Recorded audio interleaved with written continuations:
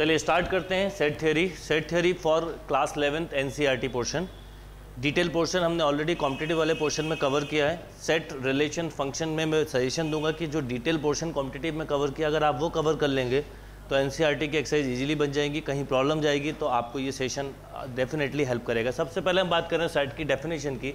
तो सेट क्या होता है? Set is a well defined collection of object means जैसे बोल, मैं बोलूँ सेट ऑफ़ बॉबिल तो क्या होगा? Set of vowels like A E I O U right well defined collection of object means जो भी हम लिखने वाले हैं, उसकी एक प्रॉपर डेफिनेशन होना चाहिए। उस कलेक्शन को हम सेट बोलते हैं। Set of first five natural number तो क्या हो जाएगा? Like one two three four five natural number क्या होते हैं? Start from one counting number is called natural number set of first five even natural number तो like two four six eight ten तो set का मतलब हुआ well defined collection of object है ना? अब बात करते हैं रिप्रेजेंटेशन ऑफ़ सेट तो सेट को थ्री टाइप से रिप्रेजेंट कर सकते हैं. नंबर वन जो फॉर्म कहलाती है वो रोस्टर और टेबुलर फॉर्म कहलाती है. Number two set builder form and number three Venn diagram Venn diagram की हम बात बाद में करेंगे. पहले हम रोस्टर या टेबुलर फॉर्म की बात करें. तो रोस्टर या टेबुलर फॉर्म में हम सारे एलिमेंट्स को एक ब्रैकेट्स के अंदर कॉमा के साथ लिखते हैं राइट जैसे मैंने लिखा दिस इज़ कॉल्ड सेट ये रोस्टर या टेबुलर फॉर्म कहलाएगी ए ई आई ओ यू क्योंकि हमने इसमें एक एक एलिमेंट्स लिखे हैं और रोस्टर या टेबुलर फॉर्म का एक आध एग्ज़ाम्पल देते हैं, जैसे suppose first five natural number क्या होंगे? वन टू थ्री फोर ये सभी एलिमेंट्स को हम रिप्रेजेंट करेंगे और कॉमर्स के बाद लिखेंगे.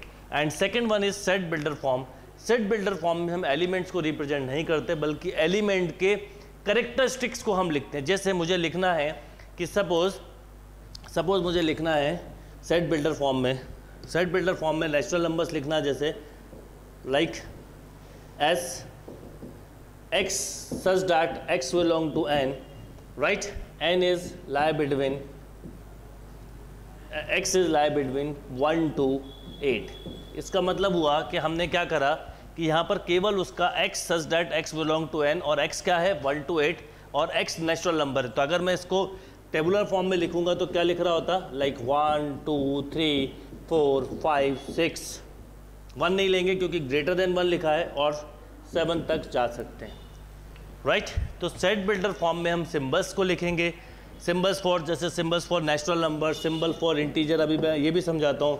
सिंबल फॉर रैशनल नंबर्स यहाँ पर हम केवल एलिमेंट की जगह उसके सिंबल्स को लिखेंगे और टेबुलर फॉर्म में हर एलिमेंट्स को हम सेपरेटली लिखेंगे राइट अब अगर हमें सेट बिल्डर फॉर्म में जाना है तो हमें करेक्टरिस्टिक्स पता होना चाहिए लाइक like, जैसे मैं बोलूँ नेचुरल नंबर तो नेचुरल नंबर का करेक्टरिस्टिक्स क्या है? Capital N and all counting number is called natural number right suppose including zero all natural number is called whole number zero one two three four five like this suppose मैं बोलूँ integers तो positive as well as negative number is called whole numbers में positive and negative ले लें तो is called integers number minus one minus two and so on positive integers means one two three four five negative integers means minus one minus two minus three minus four yes और no even even integers की बात करूँ, क्या हो जाएगा? Zero two four six minus two minus four like this right next बात करें rational number की। तो rational number is a form of P by Q याद रखिएगा इंटीजर को हम कई बार बुक में जेड से भी डिनोट किया जाता है तो कंफ्यूज मत हो जाएगा आई या जेड कोई भी ले सकते rational number a form of p by q such that q not equal to zero like two three ये भी रैशनल नंबर है. Five one by two three by four ये सब रैशनल नंबर है. राइट इरेशनल नंबर्स की बात करें तो like root two root three non recurring non terminating number is called an irrational number root five pi exponentially ये सब देखिए वेल डिफाइंड कलेक्शन हमने एक कलेक्शन किया डेफिनेशन के हिसाब से, इसको हम बेसिकली सेट बोलते हैं। Real number means all numbers are real number except imaginary number means minus infinity to plus infinity is called real number right positive real number means start from zero to infinity negative real number means minus infinity to zero अब question के साथ जहाँ जहाँ लगेगा, मैं आपको symbols बताते हुए चलूँगा तो एक्सरसाइज करवाता हूँ। डिटेल पार्ट हम कवर कर चुके हैं, अभी हमारा ऑब्जेक्ट है एनसीईआरटी को कवर करना राइट यस एक्सरसाइज स्टार्ट करते हैं 1.1 देखिए, इसमें क्वेश्चन नंबर वन क्या है? Which of the following are set justify करना है कि कौन सा सेट है या नहीं है, उसमें कुछ लिखे हैं मैंने one two three four five अगर हम देखें क्वेश्चन नंबर वन तो लिखा फ़र्स्ट क्वेश्चन क्या है? The collection of all the month of a year beginning with the letter J right this is set why set क्योंकि जो लेटर जो मंथ जे से स्टार्ट हो रहे हैं, उनका कलेक्शन लेना है like June July like this तो ये सेट है. Second the collection of ten most talented writer of India, ये सेट नहीं है। बाय क्योंकि टॉप टेन राइटर्स कौन से होंगे, ये हम नहीं बता सकते।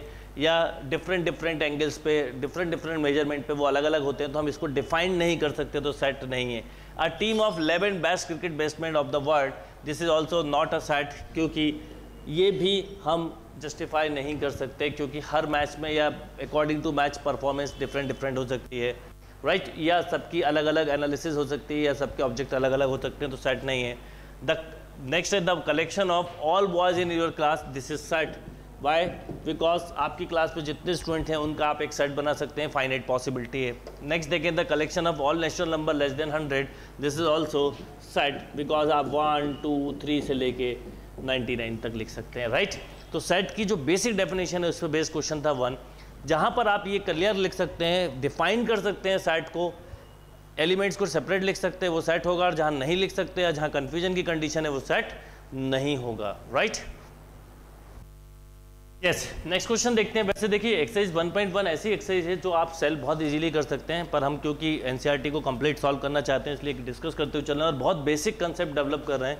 इसीलिए अगर आप बेसिक से कभी भी पढ़ेंगे तो कोई भी टॉपिक में आपकी हमेशा अंडरस्टैंडिंग बनेगी। अब क्वेश्चन नंबर टू में ये बोला गया let A equal to one two three four five six insert the appropriate symbol belong to और not belong to in the blank space अब देखिए, एक आपको एक सेट दिया है जिसके एलिमेंट हैं फ़र्स्ट सिक्स नेचुरल नंबर अब जैसे मैं देखूँ question number one five A का ही एक सबसेट है, एक तरह से बोले तो five belong to A eight not belong to A zero not belong to A four belong to A two belong to A ten not belong to A right बिल्कुल बेसिक क्वेश्चन है, पर इतनी छोटी छोटी चीज़ें जब हम क्लियर करते हुए चलते हैं, क्योंकि टेंथ के बाद जब हम इलेवंथ क्लास में आते हैं तो मैथ्स का लेवल एकदम से बढ़ जाता है। तो ऐसे केस में मैं आपको बोलूँगा, बिल्कुल बेसिक से एक एक क्वेश्चन को यस क्वेश्चन नंबर थर्ड देखते हैं, देखिए क्या है।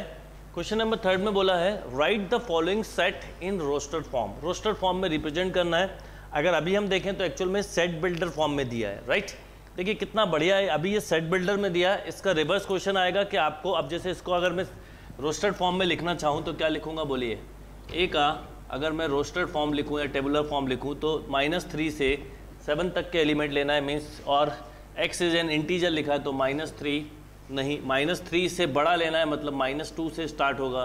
तो minus two minus one zero one two three four five and six right अब आपको आगे जाके ये क्वेश्चन मिलेगा कि ये फॉर्म दी होगी टेबुलर फॉर्म और उसको रोस्टर फॉर्म में कन्वर्ट करना होगा।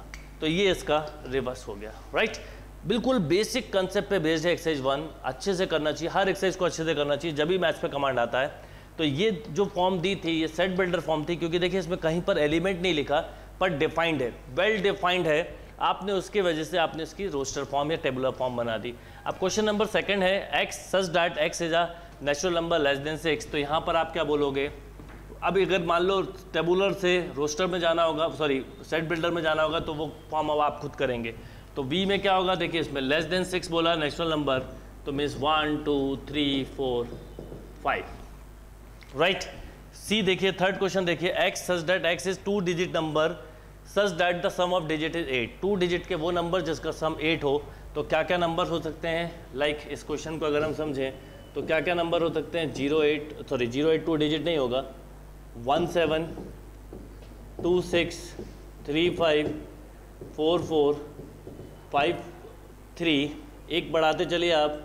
Five three six two seven one and eight zero ये नंबर हो गए जो टू डिजिट होने के साथ साथ जिनका सम भी एट है। नेक्स्ट क्वेश्चन देखिए X such that X is a prime number which is divisors of sixty तो सिक्सटी को अगर हम देखें तो सिक्सटी को हम क्या लिख सकते हैं?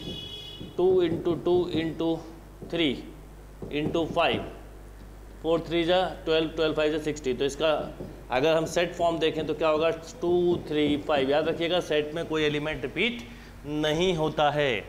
नेक्स्ट है E the set of all letters in the word trigonometry तो टिग्नामेंट्री में जो वर्ड हैं, वो उसका सेट बना लीजिए, जैसे टी तो टी रिपीट नहीं होगा तो आप कट करते चलिएगा, मिस्टेक ही नहीं होगी। नेक्स्ट आर, जहाँ जहाँ आर आ रहा है, वहाँ कट कर दीजिए। नेक्स्ट, जी, कहीं नहीं है, फिर O. Next, N. Right, next, M, E, and Y. ये हो गई सारी रोस्टर फॉर्म या tabular form. Note down. Remaining अगर हम फोर फाइव सिक्स क्वेश्चन देखें तो बिल्कुल सिंपल जो डेफिनेशन पे बेस्ड क्वेश्चन हैं, वैसे ही हैं। आप इजीली उनको सॉल्व कर सकते हैं तो हम नेक्स्ट एक्सरसाइज करेंगे। तो या तो रोस्टर फॉर्म से टेबुलर में जाना है टेबुलर से रोस्टर में, या एलिमेंट को डिफरेंट डिफरेंट लिखना तो जो हमने सेट की डेफिनेशन और बेसिक कंसेप्ट समझा है, इससे आप रिमेनिंग क्वेश्चन बहुत ईजिली सॉल्व कर सकते हैं।